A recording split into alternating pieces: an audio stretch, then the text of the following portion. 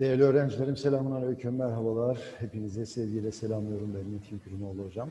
Ee, Değerli öğrencilerim bugün 11. sınıf akaid dersi 1. dönem ikinci yazılı soruları cevaplayacağız ve sınava en iyi şekilde hazırlanacağız. Ee, Değerli takipçilerim kanalımıza abone olduğunuz için ve beğeni tuşunu bekladığınız için de çok teşekkür ederim. Henüz abone olmadıysanız aşağıdan abone butonunu tıklayarak abone olabilirsiniz. Olabilirsiniz. E, katıl butonunu tıklayarak e, avantajları oradan okuyabilip e, değerlendirebilirsiniz. Evet değerli e, öğrencilerim şimdi hemen sorularımıza geçelim isterseniz. Değerli öğrenciler, birinci soru şöyle. Diyor ki yukarıdaki noktalı yerleri uygun kelime veya kelime gruplarıyla doldurunuz. Soru şöyle başlıyor. Hak dinin sahibi ve kaynağı nokta noktadır. Muhatabı nokta nokta nokta, amacı nokta nokta nokta şeklinde uzuyor. Bunu boşluklara uygun kelime veya kelime gruplarıyla ne yapacağız? Tamamlayacağız. Özellikle birinci boşlukta bir kelime oraya e, yerleştireceğiz. Diğerlerinde de cümle şeklinde cümleyi tamamlayacağız değerli öğrenciler. Şimdi cevabımıza bakalım. Değerli öğrencilerim, hak dinin sahibi ve kaynağı Yüce Allah'tır. Allah Celle Celaluh'tür. Muhatabı ise akli melekeleri sağlıklı işleyen ve hür iradesiyle tercihte bulunabilen insandır. Dikkat edelim, akli melekeleri sağlıklı işleyen ve hür iradesiyle tercihte bulunabilen insandır. Yani akli melekeleri yerinde değilse ve hür iradesiyle karar veremiyorsa muhatap değildir. Buna dikkat etmenizi istiyorum. Ve amacı, amacı, hak dinin amacı insanı bu dünyada ve ahirette mutlak hayra, gerçek mutluluğa ulaştırmaktır. Evet, hak dinin amacı neymiş? İnsanı bu dünyada ve ahirette mutlak hayra ve gerçek mutluluğa ulaştırmaktır. Bu şekilde noktalı yerleri dolduracaksınız. Değerli arkadaşlar, ikinci sorumuzda usulü din, usulü selase ve aslül usul ne demektir? Kısaca belirtiniz diye sorumuz geliyor. Bu soruyu size bu şekilde hazırladım, soruyorum. Bunun cevabını şu şekilde vereceğiz arkadaşlar. Değerli arkadaşlar, e, akaidin ana konusunu e, oluşturan iman esaslarına, iman esaslarına, evet, dinin temelleri, asli hükümleri anlamında usulü din adı verilir. Demek ki usulü din dediğimizde akaidin ana konusunu oluşturan iman esasları, dinin temelleri, asli hükümleri aklımıza gelecek. Bunların toplamına biz ne diyoruz? Usulü din diyoruz. Bunlar arasında Allah Celle Celaluhu peygamberlere ve ahirete imanın özel adı usulü selasedir. Selase üç demek biliyorsunuz. Usulü selasedir. Yani üç temel esas demektir. Çünkü diğer üç iman esasını bunların altında incelemek ve değerlendirmek nedir? Mümkündür. Bütün iman esaslarının kendisine bağlı bulunduğu imanın temelini teşkil eden Allah'a, Allah Celle Celaluhu'ya imanı ise aslül usul yani esasların esası denir değerli öğrenciler. Değerli öğrencilerim bir diğer soruya gelelim. Akaidin amacı nedir? Bildiklerinizi yazınız. Burada hocamız size bir tercihte bulunuyor. Akaidin amacı nedir? Bunu siz kendi bilgilerinizle, kendi cümlelerinizle yazın. Bunu istiyor. Cevap olarak şöyle bir ifade, paragraf oluşturabiliriz. Akaid Allah'tan, Allah Celle Celaluh'ten başka ilah, yaratıcı ve mutlak otorite olmadığı anlamına gelen tevhid bilincine sahip mümin insanların yetişmesini hedefler. Delillerle güçlendirilmiş, tahkiki bir iman sayesinde insan gerçek manada kulluk vazifelerini yerine getirebilir. Bu hedefleri gerçekleştiren akaidin nihai amacı ise diğer tüm dini ilimlerde olduğu gibi kişinin dünya ve ahirette mutlu olabilmesine katkı sağlamak. Demek ki akaidin temelde arkadaşlar esas amacı nedir? Kişinin dünya ve ahiret hayatında mutlu olabilmesine katkı sağlamaktır. Bu şekilde e, öz bir şekilde ifade ederseniz bu amacı ne yapmış olacaksınız? Yerine getireceksiniz. Dördüncü sorumuza gelelim arkadaşlar. Dördüncü sorumuzda diyor ki bir hadisin veya Kur'an'ın mütevatir olması ne demektir? Bunu açıklayınız. Değerli arkadaşlar, ders kitabımızda bu konu biliyorsunuz işlendi. Bu konuyla ilgili bilgilerimizi bir özet halinde ne yapacağız? Bir araya getireceğiz ve kısaca cevaplayacağız. Şu şekilde cevap verebiliriz. Bir hadisin mütevatir olmasının anlamı, o hadisin Hazreti Peygamber tarafından söylendiği konusunda hiçbir kuşku bulunmaması demek. Kur'an'ın mütevatir olmasının anlamı ise Resulullah sallallahu aleyhi ve sellemin ağzından çıktığı gibi hiçbir değişikliğe uğramadan zamanımıza kadar ulaşmış bulunmasıdır. Zaruratı diniye ne demektir? Örnek vererek açıklayınız demiş. Ee, burada zaruret kelimesi biliyorsunuz e, günlük hayatta da e, kullanılır. Dinin zaruretleri gibi de çevirebiliriz.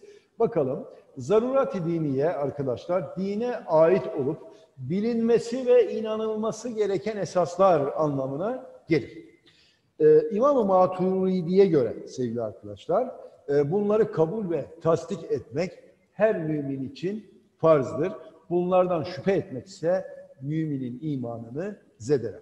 Mesela beş vakit e, namazın, zekatın, e, Ramazan orucunun ve imkan olunca hacca gitmenin farz olduğuna inanmak, içki içmenin, haksız yere birini öldürmenin, ana babaya itaatsizlik etmenin, zinanın, yetim malı ve faiz yemenin ve buna benzer kesin naslarla sabit olan yasakların haram olduğuna inanmak e, zarurati e, diniyedendir e, değerli öğrencilerim.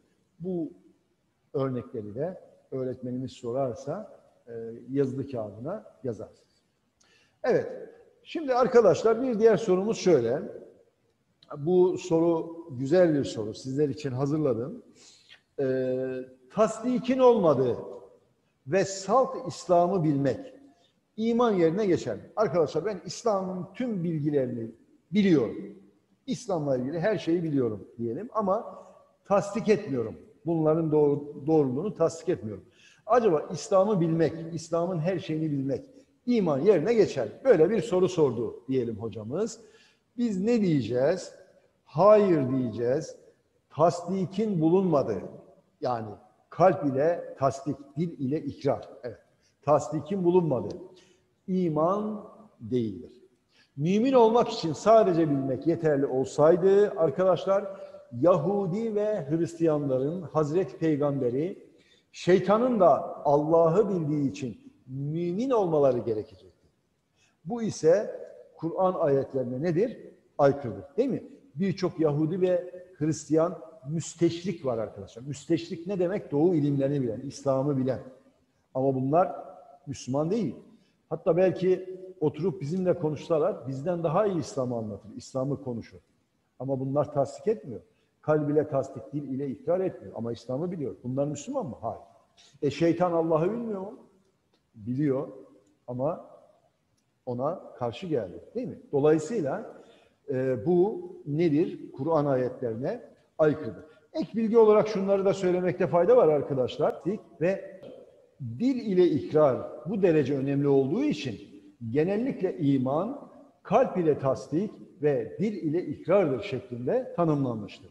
Fakat imanı bu şekilde tanımlamak, kalp ile inanmadığı halde inandım diyenin mümin olmasını gerektirmez. Nitekim Allah Teala buyurmuştur ki insanlardan bazıları da vardır ki inanmadıkları halde Allah'a ve ahiret gününe inandık derler. Bakara suresi 8. ayette e, bu insanlarda nedir? Münafıktır değil mi? Evet dışarıdan diyor ki ben inanmıyorum, Müslüman ama kalben tasdik etmiyor. Onun için değerli arkadaşlar e, Müslüman, iman etmiş insan e, Hazreti Allah'ın gönderdiği vahye, Hazreti Muhammed Mustafa'nın bizlere öğrettiklerine ne yapacak? E, kalp ile tasdik edecek, diliyle de ikrar edecek. E, dolayısıyla e, bu e, kişiye biz o zaman ne diyeceğiz? Müslüman e, diyeceğiz. Yoksa tasdikin olmadığı ve salt İslam'ı bilmek iman yerine ne yapmaz? Geçmez. Peki arkadaşlar diyor ki yukarıdaki noktalı yeri doldurmuş sorumuzda. Okuyalım. İnanılacak şeylerin her birini açık ve geniş bir şekilde öğrenip bunlara ayrıntılı olarak inanmaya nokta nokta denir. Bu iman, imanın en geniş şeklidir. Bu sebeple üç derecede incelenmektedir. Noktalı yere ne getirmemiz gerekir? Hangi kelime veya kelime grubunu getirmemiz gerekir? Değerli arkadaşlar, inanılacak şeylerin her birini açık ve geniş bir şekilde öğrenip bunları ayrıntılı bir şekilde, evet ayrıntılı olarak e, inanmaya tafsili iman denir. Tafsili iman denir. Evet noktalı yere ne yapacağız arkadaşlar? Tafsili iman getireceğiz. Dolayısıyla tafsili imanda imanın en geniş şeklidir. Bu sebeple üç derecede incelenmektedir. İlgili dereceleri kitabınızdan ne yapın arkadaşlar? E, açarak okuyun. Evet bir diğer sorumuz ikinci ünitemizde geçen amentü terimi nedir? Ne anlama gelmektedir? Yazın. Sorumuz böyle. Siz de şu anda içinizden arkadaşlar cevaplayabilirsiniz. Hemen cevaplayalım. Sevgili arkadaşlar amentü inandım anlamına gelir. İnandım anlamına gelen amentü İslam'ın iman esaslarını ana hatlarıyla ifade eden bir terimdir. Allah'a, meleklerine, kitaplarına, peygamberlerine, ahiret gününe, kadere, hayır ve şerrin Allah'tan olduğuna iman ettim. Ölümden sonra da diriliş gerçektir. Allah'tan başka ilah olmadığına Muhammed'in sallallahu aleyhi ve sellem onun kulu ve elçisi olduğuna şehadet ederim demektir. Buna inanan bir insan yani amentüye inanan bir insan Müslüman ve mümindir. Arkadaşlar bunu ifade edelim. Siz de yazıda ifade edeceksiniz.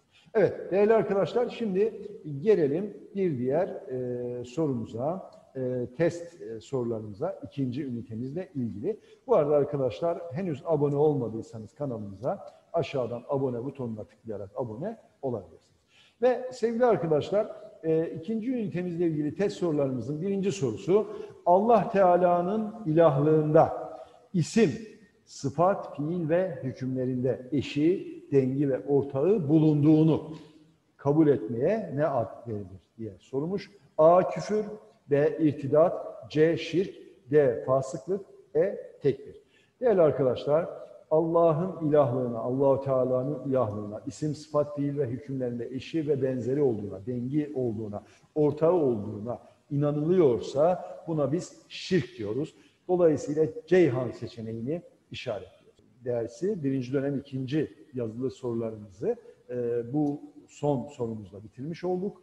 E, hepinize gireceğiniz sınavda başarılar diliyorum. Kanalımıza abone olduğunuz için ve beğeni tuşunu tıkladığınız için teşekkür ediyorum. Teşekkür Allah'a emanet olun.